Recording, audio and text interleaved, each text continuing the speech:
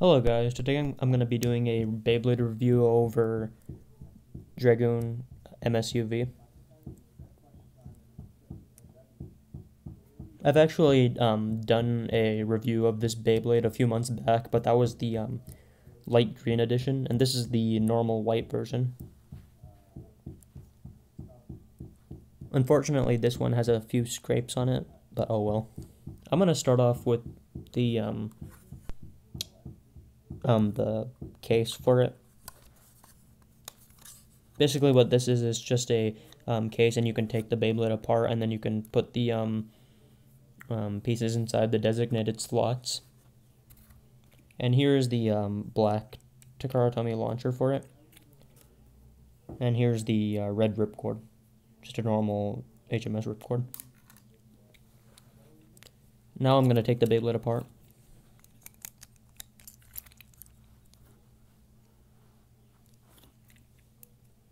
If you can hear um, talking in the background, it's um, my family downstairs. So hopefully it isn't too loud. Whoops. That's better. Um, here is the bit protector. This one's called Dragoon Emblem. Unfortunately, it's kind of dark outside right now, so like um, the lighting in this room isn't that great. Here's the um, attack ring. This one's called Ultimate Attacker. I think I mentioned this a bunch in the um other Dragoon MSU video, the other Dragoon MSUV video, but like I really love the stickers on this Beyblade. They look so cool, like the um red stickers on the outside here. I like how um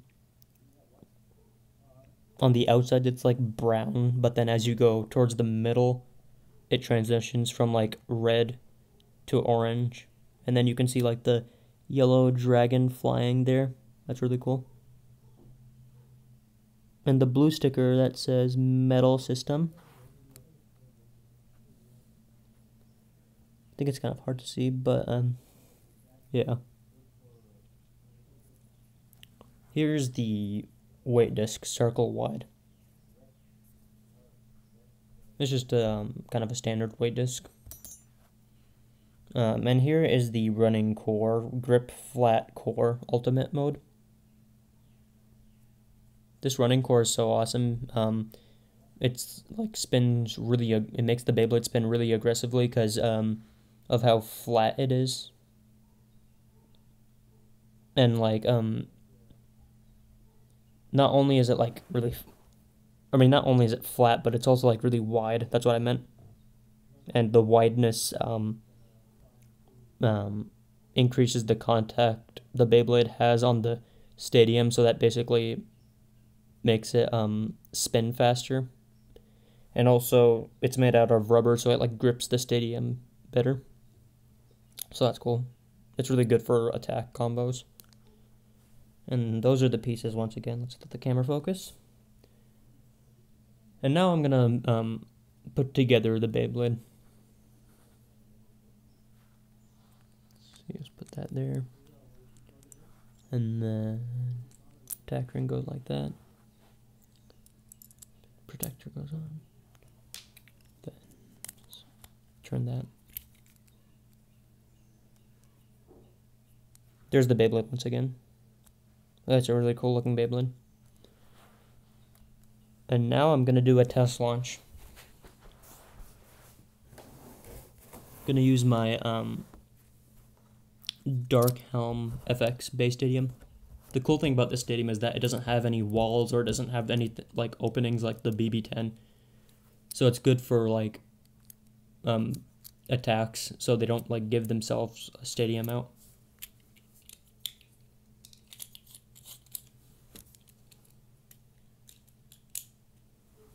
Three, two, one, letter it. And that's the Beyblade. It spins really fast.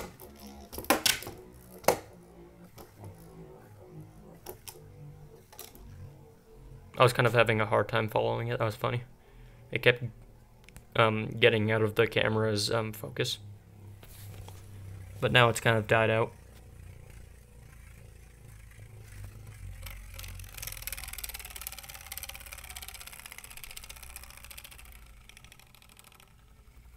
It's almost out of energy. Let's see.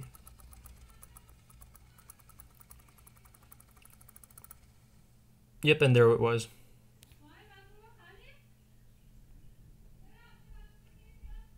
And that concludes this video. Thanks for watching. Bye guys.